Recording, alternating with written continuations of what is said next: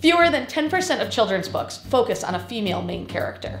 Only 7% of superheroes are girls. And women, along with their contributions, are often left out of history.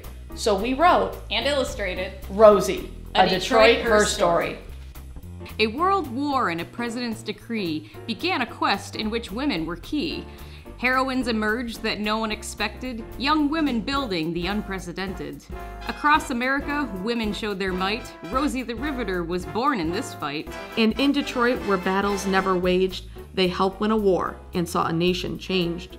This true story starts before most women had careers. And a world war occupied nearly everyone's fears. In 1939, the Germans crossed over Poland's territory line. The Nazis invaded, and we must help out, yelled President Roosevelt without any doubt. But as England and France both entered the fight, Americans suffered from nearness of sight. Our oceans protect us, we're so far away. Their isolationism no one could sway. With Churchill calling so desperate for aid, Roosevelt struggled to get his war plan made. Congress simply would not get on board with the thought. He had to negotiate without being caught. Now that the fires of war and industry were lit, the women of Detroit declared, We can do it.